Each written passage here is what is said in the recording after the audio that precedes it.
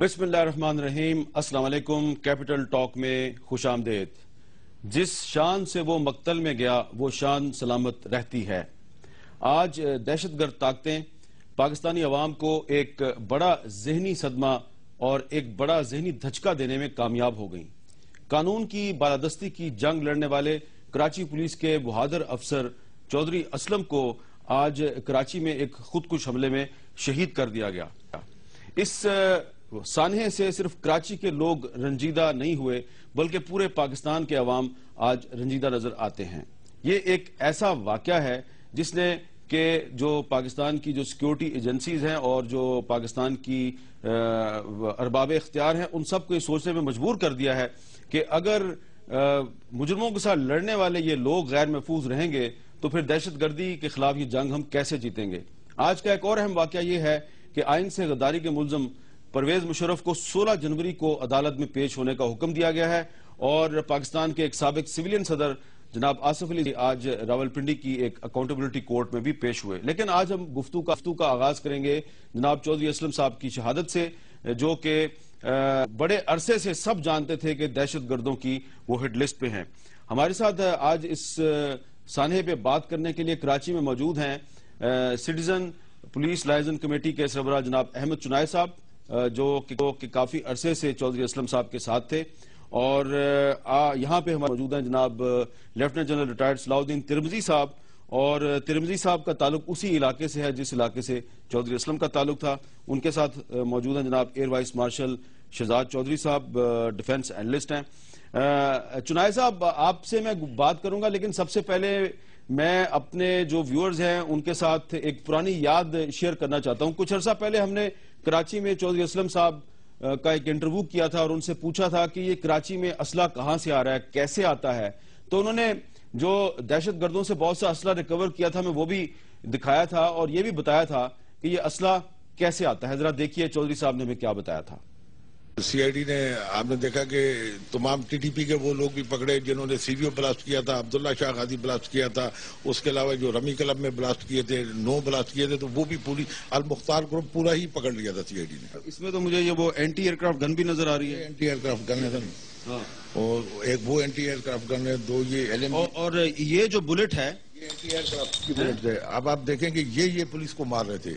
ये इनसे एपीसी को ये फाड़ रहे थे। ये बुलेट पाकिस्तान में बनती है? ये तो बाहर से लेके आएँगे पाकिस्तान में तो ये नहीं बनती मेरे ख्याल से। इनके पास कैसे आई? ये सर नेटो के कंटेनरों को छीनते हैं तोड़ते हैं वहाँ से कौन छीनता है? लियारी वाले छीनते हैं? लियारी वाले छीनते हैं या बीएलए वाले छीनते हैं वहाँ पे तोड़े हैं तो वहाँ से ये लेके आए अच्छा। ये इसके अंदर डाल के फायर करते हैं। ये इसके अंदर डाल के ये फायर करते हैं। तो ये क्या करता है?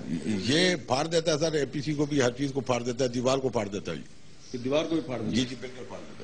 अच्छा ये क्लाशनकोव के ऊपर लगा हुआ है। इसके अंदर बकायदा इसको लगाने के बाद ये अभी फ़ीड है। इसको लगाने के बाद फायर अच्छा, किया आपको कौन सी गोली लगी थी? मुझे जो है ये स्टील बुलेट फायर की थी ये लगे। ये वाली गोली जी हाँ स्टील बुलेट्स लगे थे ये। और और ये और अवान मारा था जिसकी वजह से ये मेरी दोनों उंगलियाँ जो है ये लाया हो गई हैं।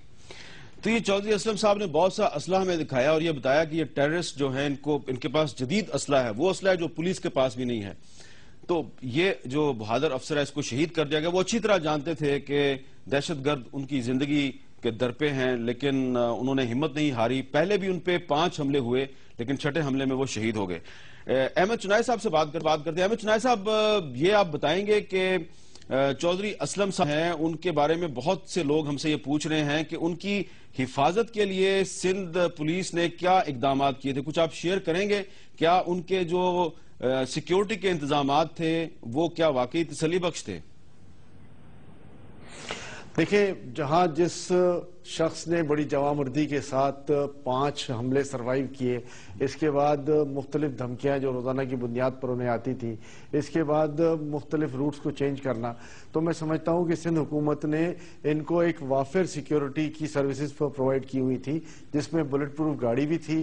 साथ साथ जो है वो एक पूरा इनका अमला था जो इनको हिफाजत करता था आगे पीछे इनकी गाड़ियाँ चलती थी और वो बड़ी जवामर्दी के साथ दहशत गर्दों के खिलाफ मुकाबला करते थे। आ, मैं समझता हूँ कि ये आज दहशत गर्दों ने पेनिट्रेट किया है इनकी सिक्योरिटी में और उस पेनिट्रेशन के नतीजे में न सिर्फ़ वो शहीद हुए हैं बल्कि उनके दो मुहाफिज भी शहीद हुए हैं। लेकिन साथ साथ मैं समझता हूँ कि पूरी सिंध पुलिस के लिए उन्होंने एक नसीहत भी कर दी है, एक पैगाम भी दे दिया कि इन दहशत गर्दों के खिलाफ जो है वो हम आखिरी दम तक जंग लड़ते रहेंगे और शहीदों का खून जो है वो कभी रायगा नहीं जाता।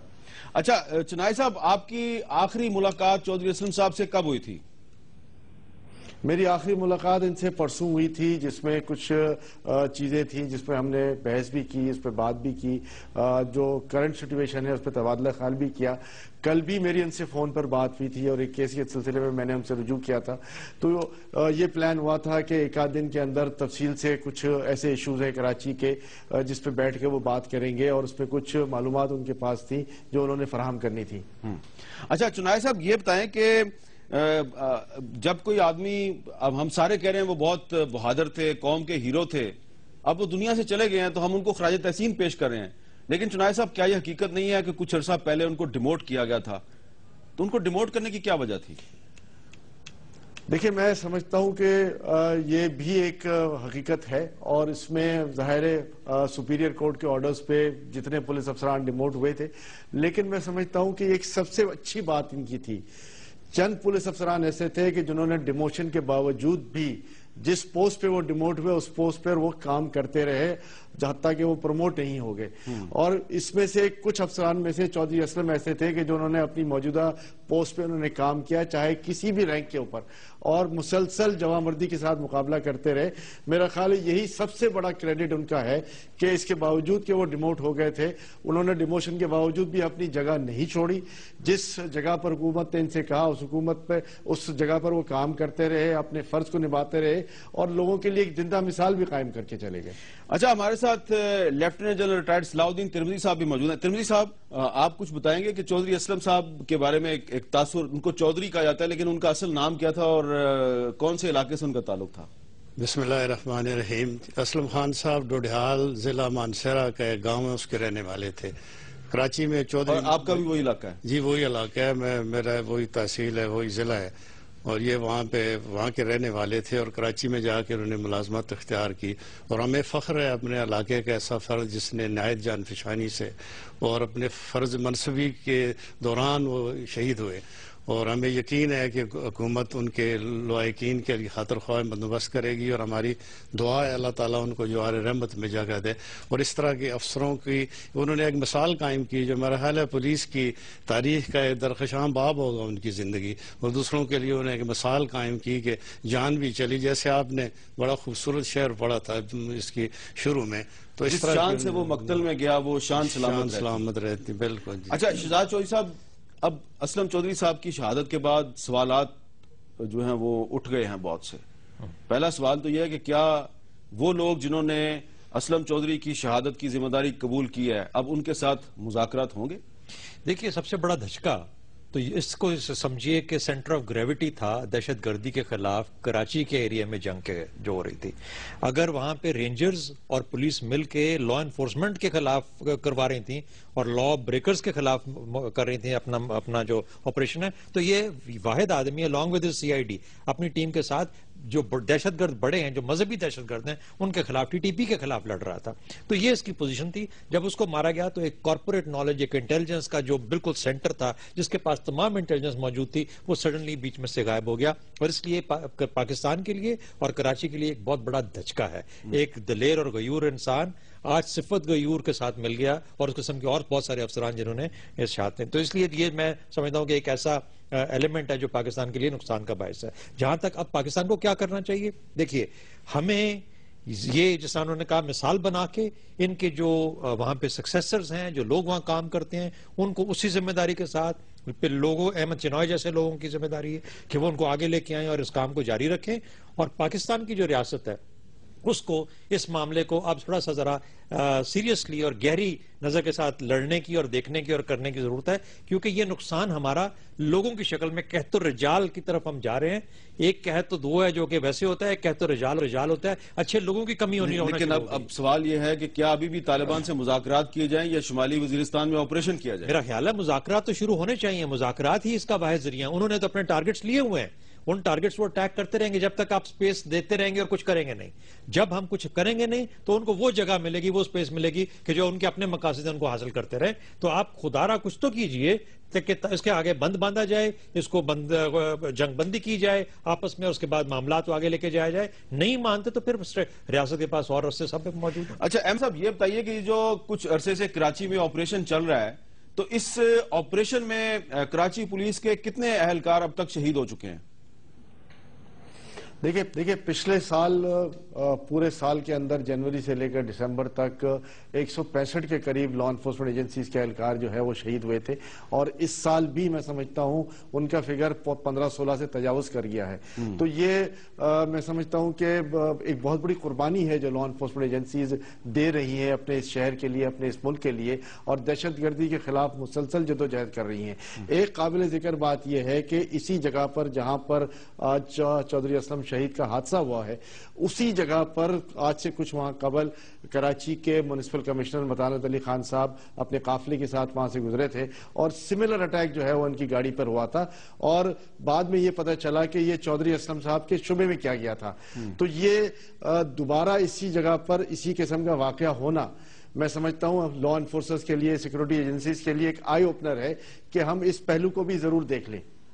अच्छा ये अब आपने बड़ी अहम बात कर दी है तो ये क्या ये इंटेलिजेंस और सिक्योरिटी एजेंसीज की फेलियर नहीं है बहुत बड़ी? देखिए मैं अब इसको फेलियर नहीं कहूँगा मैं इसमें ये कहूँगा कि जो दहशतगर्द थे उन्होंने पेनिट्रेट कर लिया उन्होंने इस सिचुएशन को इस जगह को इस रास्ते को एक्सप्लॉइट कर लिया।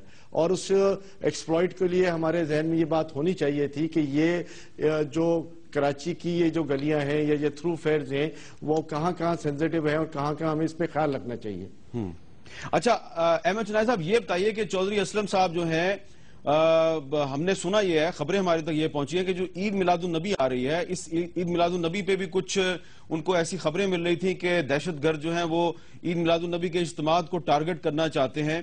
तो इसके लिए भी वो काफ़ी सरगर्म थे, सुबह भी वो किसी ऑपरेशन से आए थे और पूरी नींद नहीं की और नींद पूरी किए बगैर दोबारा ऑपरेशन पर चले गए। कुछ आप बताएँगे कि ये अब एक बहुत ही बहादुर पुलिस अफसर से कराची पुलिस महरूम हो गई है।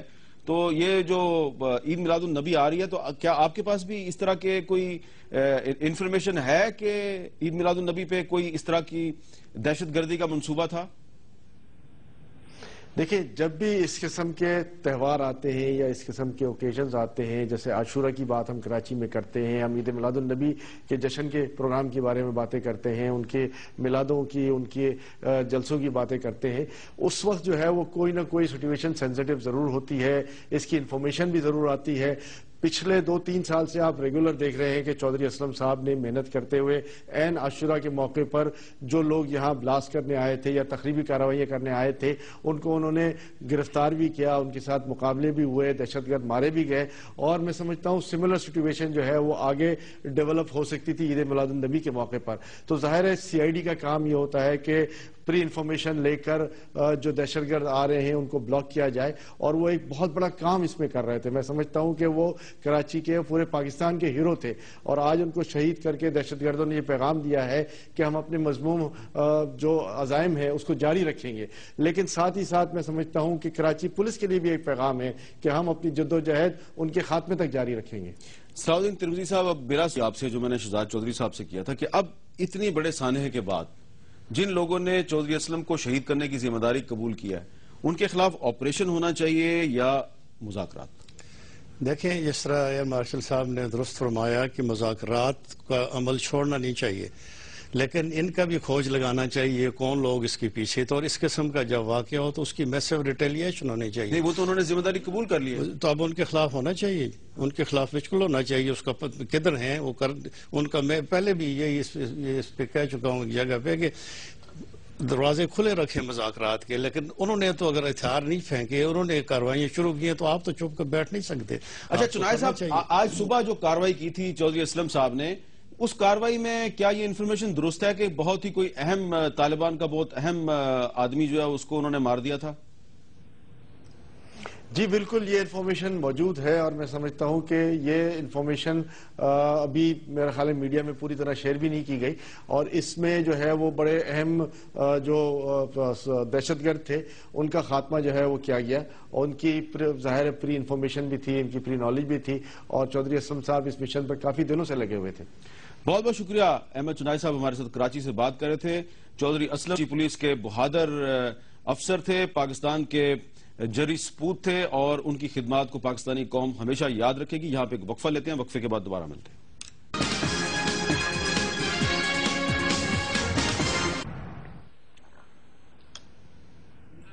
वक्फे के बाद कैपिटल टॉक में दोबारा खुश आमदेद। आज दो और और अहम वाकयात हैं। पहला वाकया यह है कि इस्लामाबाद का जो एक स्पेशल कोर्ट है, जो कि आइन से गद्दारी के इल्ज़ाम में जनरल परवेज मुशर्रफ के खिलाफ केस की समात कर रहा है। इस स्पेशल कोर्ट ने मुलजम परवेज मुशरफ को 16 जनवरी को को अदालत में हाजिर होने का हुक्म दिया। और जो अदालत का हुक्म है, उसमें यह वाजे तौर पर कहा गया है it is clear that the accused has failed to obey and comply with the orders of the court और साथ ही साथ आज रावलपिंडी की एक अकाउंटेबिलिटी कोर्ट में सबक सिविलियन सदर आसफ अली जरदारी साहब पेश हुए हुए और उन्होंने अपने खिलाफ सत्रह साल पुराने इल्ज़ाम का दोबारा सामना किया और ये मैं आप पे वाजे करना चाहता हूँ, याद दिलाना चाहता हूँ कि आसिफ अली जरदारी साहब को भी बहुत सी बीमारियाँ लाक हैं और उनको जो बीमारियाँ लाक हैं, उनमें से मैं नौ बीमारियों का ज़िक्र करूँगा। वो नौ बीमारियाँ कौन सी हैं? उनको दिल का आर्जा लाक है, सब जानते हैं, इस पे उनका ट्रीटमेंट भी होता रहा है। उनको रीढ़ की हड्डी का भी मसला दरपेश है। इसके अलावा उन्हें शुगर भी है उनको हाई ब्लड प्रेशर भी है उनका बायां बाजू भी अक्सर सुन हो जाता है। और अ, 2011 में वो बेहोशी के दौरे की वजह से उनको दुबई और अमेरिका भी भेजा गया। दांत में भी दर्द है हड्डियों में सोजिश भी है डिमेंशिया की बीमारी का भी एक जमाने में उनको सामना रहा है। तो उनको भी नौ बीमारियाँ लाक हैं लेकिन वो कोर्ट में पेश हुए और परवेज मुशर्रफ साहब अभी तक पेश नहीं हुए। अब मैं आपको तारुफ कराऊँगा अपने एक नए मेहमान जनाब lieutenant general retired Amjad Shoaib साहब से, जिन्होंने इस वक्फे में हमें ज्वाइन किया। अमजद शुएब साहब, एक सिविलियन सदर आज कोर्ट में पेश हुआ, लेकिन फौजी सदर पेश नहीं हो रहा।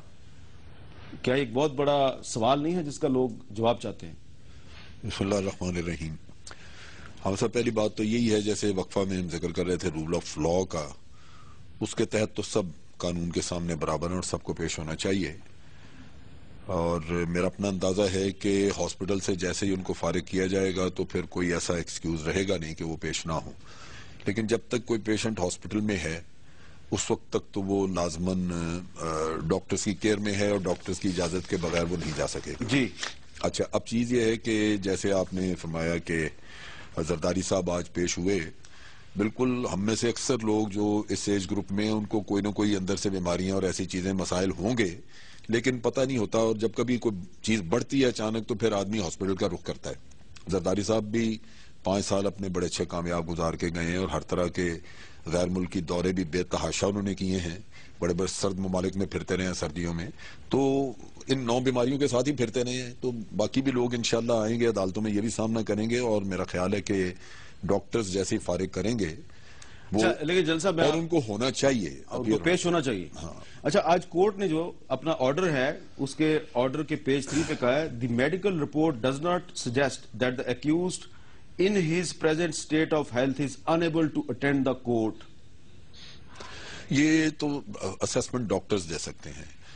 मैं अगर ये कहूँ कि जब जरदारी साहब कोर्ट में अपीयर नहीं होते थे और वो बैसाखी लेके चला करते थे तो आज बैसाखी किधर गई उनकी? तो वो मेरी एक assessment as as a civilian मैं समझता हूँ दुरुस्त नहीं है। जी। उनकी टांग में कोई तकलीफ़ थी उस जमाने में जबान कटी हुई थी कुछ और था तो वो सारी चीज़ें जो है वो डॉक्टरों ने उस वक्त उनको तय की और बताया और उनको हॉस्पिटलाइज किया।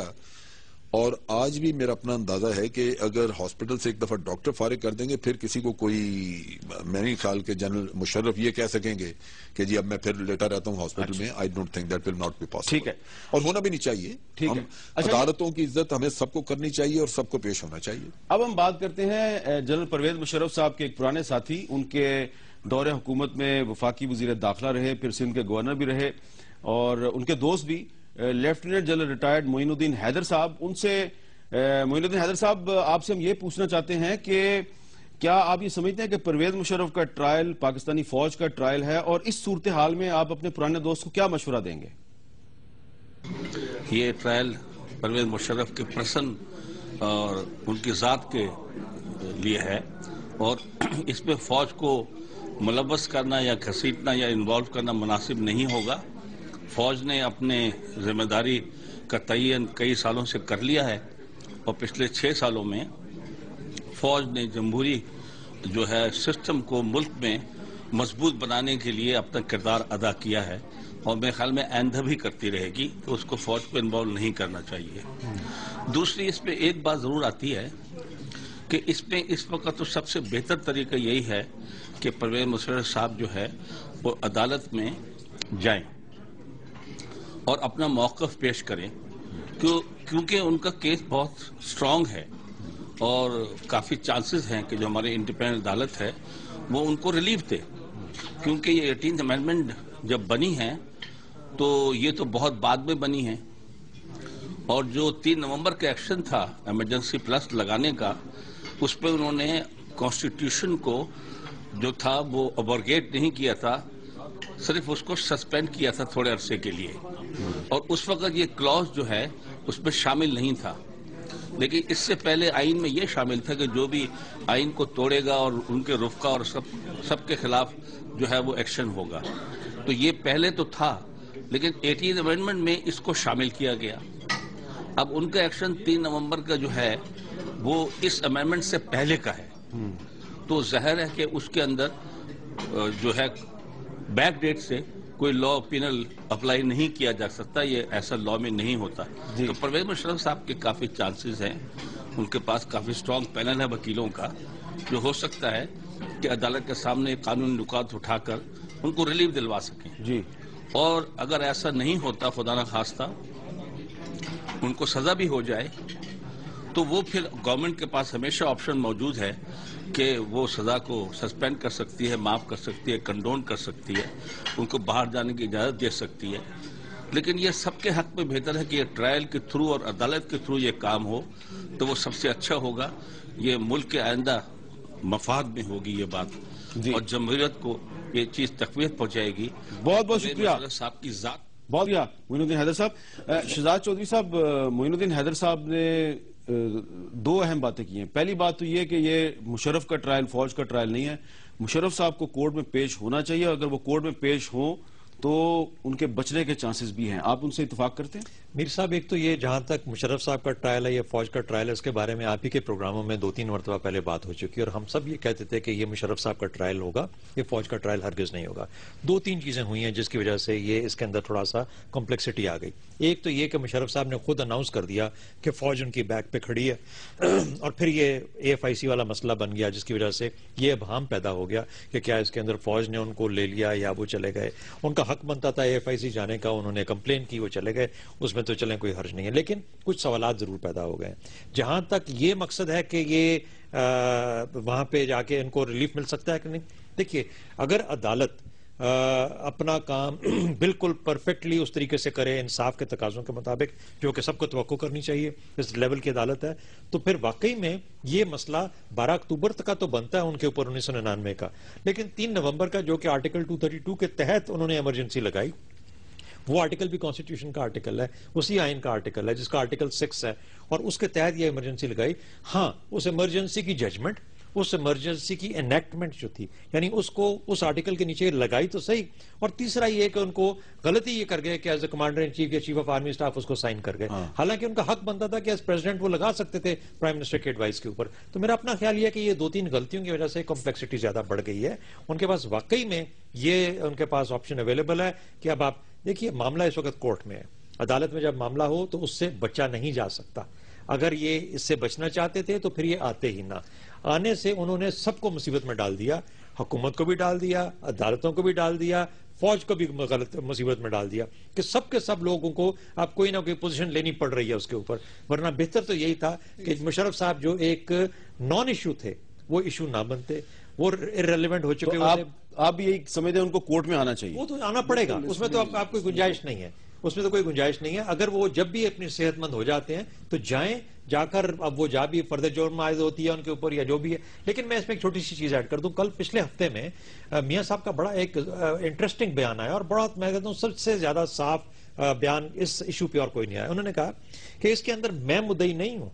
इसके अंदर मुद्दई या हुकूमत मुद्दई नहीं है। इसके अंदर मुद्दई जो है वो रियासत है और आइन है। अच्छा और ये जो कोर्ट स्टैब्लिश किया, ये डिटरमिन करेगा, उन्होंने कहा कि ये जो उन्होंने अमल किया तीन नवंबर का ये आर्टिकल सिक्स के जुमरे में आता भी है या नहीं आता? अब अदालत इतनी तेज़ी क्यों दिखा रही है फर्द जुर्म आयद करने के लिए? पहला काम तो ये कर रहे करे, करे अदालत? तेज़ी अदालत तो ह- हर रोज इस्तेसना दे रही मैं वही कह है रहा हूँ। आज भी सात दिन का टाइम दे रही है। कह रहा हूँ ना मैं कह रहा हूँ सबसे पहले ये डिटर्मिन करें कि आर्टिकल सिक्स के जुमरे में आता भी है तीन नवंबर का अमल या नहीं आता। ठीक है। और फिर उसके बाद फिर बारह अक्टूबर के साथ कंपेयर कर लें अच्छा जी आपका जनरल तिरमिजी साहब आपका क्या ख्याल है कि परवेज मुशरफ साहब अगर कोर्ट में आ जाते हैं तो जो लॉजिक मोइनुद्दीन हैदर साहब ने दिया है तो बचने के चांसेस भी तो हैं उनके। देखिए कोर्ट में आना तो उनको आना पड़ेगा और आना ज़रूरी है, अगर हम समझते हैं कि कानून की हुक्मरानी होनी चाहिए। जहाँ तक बचने का सवाल है तो ये लीगल मामला है। ना महीदुद्दीन हैदर साहब एक्सपर्ट हैं तो ना मैं हूँ। क्योंकि चंद एक बातें जो उन्होंने कही, उसमें से एक और भी पहलू था कि उस तीन नवंबर वाले उनके कार्रवाई को उसी दिन सुप्रीम कोर्ट के सात जजों ने कालादम करार दे दिया। बिल्कुल। तो वो भी वो भी पेश नज़र रखना चाहिए। जहाँ तक उनके पेश होने का ताल्लुक है तो उनके पास कोई चारा नहीं है। उनको आना पड़ेगा। कोर्ट मेरा ख्याल है जितनी लेनेंसी और जितनी कंपेशन दिखा रहा है वो अनप्रेसिडेंटेड है। जो वो कहते हैं वो कर कोर्ट मंजूर कर लेता है। जहाँ तक उनके वकला का ताल्लुक है तो लगता है कि उनको वकीलों के ऊपर, अपने ऊपर एतमाद नहीं है। हालाँकि उनके पास ऐसे वकला भी हैं जो रात को दिन और दिन को रात साबित करते रहे हैं और इससे पहले भी आमरों का हाथ पकड़ के इस अदालतों के चक्कर से निकालते रहे हैं। और बाद ऐसे भी हैं जिनको कानून से ज़्यादा शेर व शायरी और मसाले और जुगते ज़्यादा अज़ीज़ हैं। लेकिन उनको चाहिए कि वकला के आए ये काले कोटों वाले के पीछे जाएँ वो सफ़ेद एप्रन वालों के पलू पकड़ के पीछे ना छुपे। मैदान में आए और अपने चार्जेस को एक्सेप्ट करें वो तो कहते अच्छा थे आप ये आप ये समझते हैं कि एएफआईसी को भी उन्होंने कंट्रोवर्शियल बना दिया है? देखिए वो उनका राइट था वो एज रिटायर्ड ऑफिसर और ये जो कहा जा रहा है ना कि पहले ही था नहीं पहले ऐसी बात नहीं थी उनको तकलीफ़ हुई बताया गया तो उनका राइट बनता देखिए, था। ये- लेकिन ये ज़रूर हुआ कि अब उन्होंने मुश्किल में डाल दिया। फौज को भी एफ़ आई सी सारों को मुश्किल में डाल दिया। और फौज ने तो उनके साथ जितना कुछ किया है मेरा ख्याल है तारीफ़ में नहीं मिलता। क्यानी साहब ही थे जिन्होंने इनको सेफ़ पैसेज लेके दिया। क्यानी साहब भी थे जिन्होंने इनको कहा कि आप ना आए। लेकिन उन्होंने आके फौज को भी एम्बेरस किया हुकूमत को भी एम्बेरस किया अपने आप को मुश्किल में डाला। तो इस पे मुश्किल से निकलने का कानूनी तरीका यही है कि वो अपने आप को अदालत के रहम करम पर लाएँ उधर जाके पेश हों और अपना दफ़ा करें। अच्छा अमजद शुएब साहब आपका क्या ख्याल है? अभी भी कुछ लोग ये समझते हैं कि मुशरफ साहब जो है वो अल्टीमेटली ट्रायल का सामना नहीं करेंगे बैरून मुल्क चले जाएँगे। लॉस एंजलिस टाइम कह रहा है जनवरी के एंड में वो पाकिस्तान से बाहर चले जाएँगे। आपको कुछ ऐसा लगता है? ये काफ़ी वेस्टर्न मीडिया में ये काफ़ी बातचीत हुई है। लेकिन उस पर अगर आप रिएक्शन की बात करें तो मैं समझता हूँ कि वो सिर्फ़ उस सूरत में अगर हुकूमत यह समझती है कि यह मुसीबत और इससे जान छुड़ाई जाए तो शायद कोई इस तरह का रास्ता हो। वरना एक कानूनी रास्ता अगर इख्तियार किया जाए और उसमें अगर वो समझते हैं कि उनका केस बड़ा स्ट्रांग है तो वो उनको फाइट करके अच्छा आपने बड़ी अहम बात की है। जरा मैं इसको समझना चाह रहा हूँ। आप कह रहे हैं कि अगर परवेज मुशरफ साहब बाहर जाएँगे तो सिर्फ़ और सिर्फ़ सिविलियन हुकूमत उनको बाहर भेज सकती है। हाँ बिल्कुल। फौज नहीं भेज सकती। नहीं नहीं फौज देखिए मैं एक चीज़ अर्ज़ करूँ। आर्मी का जहाँ तक ताल्लुक है आर्मी जैसे हम लोग सब आप आपके अजीजों कारब होंगे फौज में होने से हालाँकि आपके सिविलियन लीडर्स में भी कोई फेवरेट होते हैं किसी से आपका कोई जेनी लगाव होता है इसी तरह आर्मी में अपने चीफ भी बाज लोग उस किसी चीफ को बहुत अच्छा समझते हैं बाज इस तरह। तो वो एक मोहब्बत का रिश्ता तो मौजूद होता है। लेकिन जब आप एक आदमी को एक बड़ा विजिबल किस्म का ट्रांसपेरेंट तरीके से जब उसका ट्रायल करते हैं और साबित हो जाए, उस ट्रायल में कि वाकई इसने ये हरकत की थी या ज़्यादा की थी तो लाजिम बात है कि वो फौज उस मामले में फिर टांग नहीं अड़ाती।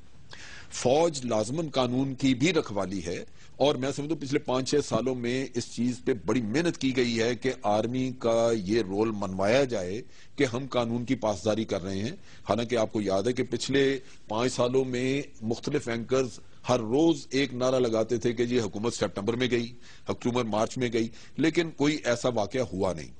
और आज मैं समझता हूँ कि नस्बतन एक ट्रांजिशन से एक स्टेज से गुजर के दूसरी में आ गए हैं तो ऐसी चीज़ होनी नहीं चाहिए और ना होगी। अच्छा वही एंकर्स का जिन एंकर्स का आपने ज़िक्र किया है कि वो डेटे दिया करते थे कि जरदारी साहब आज जा रहे हैं कल जी, रहे हैं वो ट्रीटमेंट के लिए दुबई गए हैं कभी कभी वापस नहीं आएँगे वही एंकर्स आप कह रहे हैं कि मुशरफ साहब का ट्रायल नहीं होगा ये बाहर चले जाएँगे। वही मैं कह रहा हूँ कि उनकी असेसमेंट उस वक्त भी गलत थी आज भी गलत है लेकिन अगर हो एक चीज़ मेरे जहन में आती है, वो ये है कि अगर सऊदी हुकूमत जैसे उन्होंने उस वक्त मियाँ साहब के साथ एक तरीकाकार इख्तियार किया और आज अगर वो करें तो क्वाइट पॉसिबल कि ये एक प्रेशर हो जिसके तहत कुछ करना पड़ जाए ऐसा। लेकिन उन्होंने चूँकि वाजे तौर पर यह कहा है कि जी हम इसमें इंटरेस्टेड नहीं और ना ही हमारा ये मिशन है कि हम अभी जैसे उनके फॉरेन मिनिस्टर आए हुए थे उन्होंने बड़ा कैटेगोरिकली इस पे किया है। तो मुझे तो नहीं नज़र आता कि कोई और रास्ता इसके अलावा है कि अदालत के अलावा कोई और अच्छा ये जो कुछ लोग एक मफरूजा पेश कर रहे हैं एक कॉन्स्परेसी थ्योरी है कि परवेज मुशरफ साहब ने दरअसल कोर्ट तो जाना नहीं था उनका जो एएफआईसी जाने का प्लान था पहले से तयशुदा था और ये उनको जो फौज की सिक्योरिटी एजेंसीज हैं उन्होंने ही अ, आई सी मेरा नहीं ख्याल शायद कोई मुलवस हो मैं नहीं कह सकता लेकिन एक चीज़ बड़ी वाजे है कि कोई भी एक्स आर्मी ऑफिसर या सर्विंग आर्मी ऑफिसर अगर ए एफ़ आई से में जाके ये कह दे कि मुझे यहाँ चेस्ट में पेन है या बाजू में तो वो उसको लिटा लेंगे। लिटा लेंगे और उसको सात आठ दिन वहीं पर रखेंगे। नहीं, फिर उसके टेस्ट शुरू हो जाएँगे। जब तक, क्योंकि बड़ी दफ़ा ये ये चीज़ें भी हुई हैं कि आपने किसी को वहाँ से क्लियर कर दिया कि ठीक है, और वो घर जाके उसको प्रॉब्लम हुई और बाद में सुबह पता चला जी उसकी डेथ हो गई। तो डॉक्टर्स बड़े केयरफुल होते हैं कि ये, इसका पूरा, अगर ये कहता है कि मुझे ये प्रॉब्लम हुई है तो फिर इसका पूरा एग्जामिनेशन हो जाना चाहिए। इसलिए उनको कंट्रोवर्सी में ना लाए। मैं, ये एफआईसी एक बड़ा प्रोफेशनल अदारा है। मैं इसलिए कह रहा हूँ कि बड़ा प्रोफेशनल अदारा है, लेकिन अब उनके पेशेंट्स जो है, वो रावलपिंडी इंस्टीट्यूट ऑफ़ कार्डियोलॉजी की तरफ़ जा रहे हैं। क्योंकि वहाँ पे तो डॉक्टर्स भी अपनी गाड़ियाँ अंदर नहीं ले जा सकते सिक्योरिटी इतनी ज़्यादा है। सिक्योरिटी का मसला है ये आप दुरुस्त कह रहे हैं कि वहाँ पे काफ़ी चेकिंग और सिक्योरिटी है। लेकिन ये है कि पेशेंट्स वगैरह को ले जाने में कोई ऐसी दिक्कत नहीं अगर कोई पेशेंट हो तो वो तो लेके जाते हैं बल्कि व्हील चेयर वगैरह पे ले जाते हैं। एक छोटा सा वक्फा वक्फे के बाद दोबारा मिलते हैं। वक्फे के बाद गुफ्तगु में दोबारा खुश आमदेद। शिजाज चौधरी साहब जैसा कि हम वक्फे से पहले बात कर रहे थे कि असलम चौधरी जैसे बहादुर अफसर जो है वो शहीद हो रहे हैं। और इस वक्त कौम में इतिहाद की ज़रूरत है। एक कौम को एक पेज पे होना चाहिए टेररिज्म के मसले पे। तो क्या ज़रूरी नहीं है कि इस सूरत हाल में हम अपने जो सिक्योरिटी के इदारे हैं, ना तो हम उनको मुतनाज़ा बनाने की कोशिश करें और ना ही वो किसी कंट्रोवर्सी में आए। नहीं, कोई शक नहीं है, लेकिन देखिए ना, मुतनाज़ा इस मामले में किस तरीके से बन रहे हैं और कैसे बनाए जा रहे हैं। जब हम इन बहसों में उलझेंगे और मीडिया के ऊपर उलझेंगे कि मुशर्रफ साहब जो हैं वो किस वजह से आ रहे हैं उन्होंने कू किया फलाने लोग साथी थे उनका ये था वो था नहीं वो तो मुशर्रफ साहब ने कहा ना कि फौज मेरे साथ है। नहीं वो ठीक है वो तो गलती की उन्होंने गलती की और गलती उन्होंने उलझाया फौज को इसके अंदर। आज आप मैं आपको बताऊँ आप पहले बात पूछे थे जनरल साहब फरमा रहे थे कि जी मुझे मेरा नहीं इनका ख्याल नहीं है कि फौज जो है वो इसके बारे में बहुत ज़्यादा पशेमान परेशान होगी। मेरे हिसाब से फौज बहुत परेशान होगी। और इस वजह से परेशान होगी कि ये जो प्रेशर जो अनफॉर्चुनेटली क्योंकि हर इंसान से बात नहीं की जा सकती, सिपाही से लेके ऊपर तक जो प्रेशर ट्रेवल करता है ना, जिस तरीके से जनरल कियानी के आखिरी डेढ़ दो साल में ट्रेवल किया, जब वो एनएलसी वाले या दूसरे वो जो जर्नैल जब फौज में, अदालतों में पेश हुए तो फौज के अंदर ये एक गलत या सही की बात नहीं है, लेकिन ये ज़रूर आया, जी, हमें क्यों अदालतों के सामने पेश किया जाए? फौज के अंदर अदालत के आगे पेश होना यानी मुजरम पेश हुआ करते हैं वहाँ पे। अच्छा। मुलजम पेश हुआ करते हैं। तो अच्छा, फिर फिर आइंदा से आइंदा से कोई पॉलिटिशियन अदालतों में पेश ना हो। नहीं ज़रूर जाए ज़रूर जाए क्योंकि उसका तो तुर्रा इम्तियाज़ है कि वो अदालतों के अंदर पेश हुआ और उसने जेल काटी। लेकिन जो सिपाही है उसका किसी भी अपनी मार्शल लॉ की अदालत के आगे सॉरी क्या कोर्ट मार्शल के आगे पेश होना मुजरिम के तौर पर एक उसके लिए हमेशा के लिए एक वो लानत बन जाए इसमें क्या कहेंगे जनरल तिरमिजी साहब आप क्या कहेंगे मैं ये कहता हूँ कि वो इस वक्त चीफ ऑफ़ आर्मी स्टाफ नहीं है। वो फौज में नहीं है, वो ऑल पाकिस्तान मुस्लिम लीग के सदर हैं, एक सियासतदान हैं। और जिस तरह दूसरे सियासतदान अदालतों में जाते हैं, अपने ऊपर जो अल्जामात लगे हैं, उनका तहफ़ करते हैं, दफ़ा करते हैं, उनको भी करना चाहिए। और फौज को बीच में मैं समझता हूँ कि ये उन्होंने पहले भी फौज को अपने ज़ाती इकतदार के लिए इस्तेमाल किया और कहा, पहले पाकिस्तान और पहले अपनी ज़ात को रखा तीन नवंबर को क्या मसला था? उनकी अपनी ज़ात का मसला था, उनके री इलेक्शन का मसला था, कौम का कोई मसला नहीं था, फौज का कोई मसला नहीं था। तो अब जो उन्होंने अनकाइंडेस्ट कट ऑफ़ ऑल फौज को ये दे रहे हैं कि नया नया चीफ अपॉइंट हुआ हुआ उस बेचारे को अंडर प्रेशर कर रहे हैं। है। तो ये उनके, उनको ये ये ये रोश छोड़नी चाहिए और अदालत में जाना अच्छा मैं थोड़ा सा हिस्ट्री में जाता हूँ। मैं आपसे ये पूछना चाहता हूँ कि जब आप कोर कमांडर मुल्तान थे और जनरल अब्दुल वहीद काकड़ जो हैं वो आर्मी चीफ थे तो उस जमाने में असलम बेग साहब पे ये इल्ज़ाम लगा आईएसआई के ज़रिए उन्होंने सियासतदानों में पैसे बांटे जो कि आर्मी चीफ का काम नहीं था। ये इल्ज़ाम था उन पे।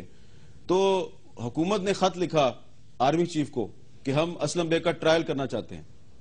तो आपसे कोई मशवरा हुआ था इस मसले पे? देखिए ये अभी फॉर्मेशन कमांडर की कॉन्फ्रेंस में टीवी पे आके नहीं कह सकता हूँ। अच्छा। नहीं वो तो कॉन्फिडेंशियल कॉन्फ्रेंसेज होती हैं। अच्छा। तो वो क्या हुआ क्या हुआ उसको?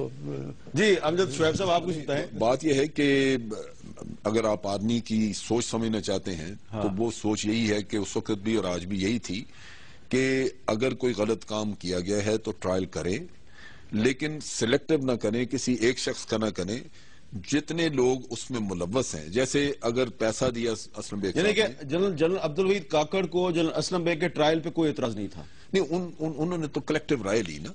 ये तो मकसद ये है कि हम जब भी फॉर्मेशन कमांडर्स कॉन्फ्रेंस होती है तो ये मुतफिका फैसले होते हैं। ये नहीं होता कि आप अपनी राय थोपें। लेकिन हमेशा से आर्मी की सोच ये रही है कि अगर किसी ने कोई क्रिमिनल एक्ट किया है तो ठीक है उसको भुगतना चाहिए। लेकिन ये नहीं कि आप सिलेक्टिव हो जाएँ टोटली और वो फिर ये लगेगा कि आप किसी एक को या आर्मी को टारगेट कर रहे हैं। तो आप ये कह रहे हैं कि अगर पैसे लिए थे सियासतदानों ने तो वो क्यों नहीं ट्रायल उनका होता? उनका भी ट्रायल हो और साथ और अब अभी वो जो आदमी कहता है कि मैंने शरीफ ढाबे वाले को जेल में पैसे दिए उसका भी ट्रायल होना चाहिए।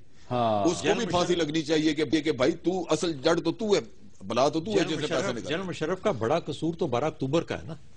तीन नवंबर तो कहते हैं ना, उसका बच्चा है, बारह अक्टूबर का। तो बारह अक्टूबर को जब तक आप उसको नहीं हैंडल करते, अगर आपने वाकई एक कू और एक सिविल यूनियन गवर्नमेंट के रिमूवल का केस लड़ना है। क्या बात है। तो फिर उसके अंदर आप आए उसको लेके आगे आए। तीन नवंबर के पीछे किधर पड़े लेकिन बारह अक्टूबर के केस न करने के ऊपर दो तीन वजूहत हैं। एक तो ये कि उसको कोर्ट्स ने क्लीन चिट दी असेंबली ने यूनानिमसली उसको कंडोन किया। और उसके बाद अब उसके ऊपर ये समझा जाएगा कि मियाँ साहब विंडिकेटिव हैं बदला लें। वही असम्बली अगर चाहे तो बारह अक्टूबर उन्नीस सौ उन्नानवे का हो सकता है। बना दिया इन्होंने कहा क्या नहीं, सब खत्म हो सकता है बिल्कुल हो सकता है। मैं ये बात बिल्कुल सही है। बिल्कुल तो ये जो हमारे मेहमान हैं इनका इत्तेफाक है कि परवेज मुशर्रफ साहब को कोर्ट में पेश होना चाहिए और फौज को इस मामले में नहीं घसीटना चाहिए।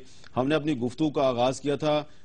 कराची पुलिस के बहादुर अफसर एसपी असलम चौधरी साहब जो आज शहीद कर दिए गए। लेकिन मैं आखिर में आपको बताना चाहता हूँ कि पिछले ही दिनों सिंध का एक बहुत बहादुर सहाफी शान डाहर जो कि जाली अद्वियात बनाने वाले माफिया को एक्सपोज कर रहा था, उसको भी शहीद कर दिया गया लाड़काना शहर में। तो चलते चलते जरा थोड़ी सी कहानी, शान डहर की भी सुन लीजिए कि वो कैसे मारा गया। वो भी उतना ही बहादुर था जितना कि असलम चौधरी। नए साल की आमद के फ़ौरन बाद निजी टीवी चैनल के लाड़काना के रिपोर्टर शान डहर को सफाकाना तरीके से कत्ल कर दिया गया।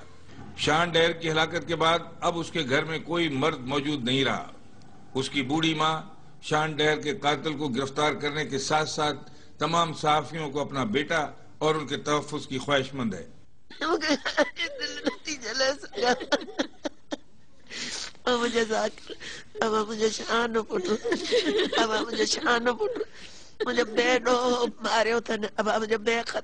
अथनि अवा मुंहिंजो हक़ खपे मूंखे हक़ मिले। मूंखे हक़ कातिल साम्हूं आणियो माँ ईअं ॾिसां त कीअं मूंसां ज़ुल्म हुन कयो आहे माँ पुछांसि त मुंहिंजे बचिड़े कयो तुंहिंजो गुनाह कयो मुंहिंजे सभिनी साहबनि पुटनि जी हिफ़ाज़त कयो हिकिड़ो मुंहिंजो पुटु न आहे साहबी मुंहिंजा सभु बचिड़ा साहबी आहिनि माँ निधणकी आहियाँ माँ बेवाही आहियाँ मुंहिंजो न अदो आहे न अबो आहे शान की हमशीरा कनीस फातिमा भी अपने बेगुनाह भाई की वफात पर अफसरदा है। और कातिल की गिरफ्तारी की ख्वाहिशमंद भी। एक ही घर का मर्द था दो ज़यीफ औरतें उसकी खाला बेवा औरत बे औलाद औरत उसका कफील था उसकी माँ जो हार्ट पेशेंट है उसकी दो छोटी सी बच्चियाँ उसकी दो बहनें छह औरतों का वो एक वारिस था। अब इस घर का कोई वारिस नहीं रहा। शान डहर के कत्ल की तफ्तीश करने वाले अफसर एएसपी साजिद खोखर का कहना है दो मशकूक अफराद को गिरफ़्तार किया गया है। दो बंदे शकी हमने गिरफ़्तार किए हैं उनसे हम अपनी इन्वेस्टिगेशन कर रहे हैं। कैपिटल टॉक के लिए कैमरामैन इरशाद माची के हमरा साबिर शाह जियो न्यूज़ बाडा जिला लाड़काना। तो ये शान डहर की कहानी है जो लाड़काना में शहीद कर दिया गया जो कि जाली अद्वियात बनाने वालों को एक्सपोज कर रहा था। तो ये जो सारी हमने गुफ्तगू की है जो असलम चौधरी है वो भी रूल ऑफ़ लॉ की जंग लड़ रहे थे और इसलिए दहशत गर्दों ने उनको शहीद कर दिया। और जो परवेज मुशरफ साहब की कहानी है ये भी दरअसल रूल ऑफ़ लॉ की जंग है। अब वो आ, अपना जो चक्सजाद इस्लामाबाद में फार्म हाउस है और एएफआईसी है और दुबई और लंदन के रास्तों में भटक रहे हैं लेकिन ये कहानी जो है इसको भी रूल ऑफ़ लॉ पे जाके खत्म होना चाहिए और शान डहर की कहानी को भी रूल ऑफ़ लॉ पे खत्म होना चाहिए। रूल ऑफ़ लॉ कायम होगा तो पाकिस्तान आगे जाएगा। मुझे दीजिए इजाज़त। अल्लाह हाफिज।